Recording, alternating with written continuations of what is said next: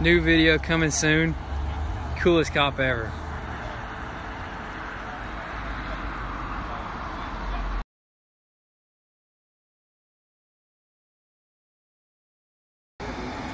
Got pulled over. Now he's trying to test drive it.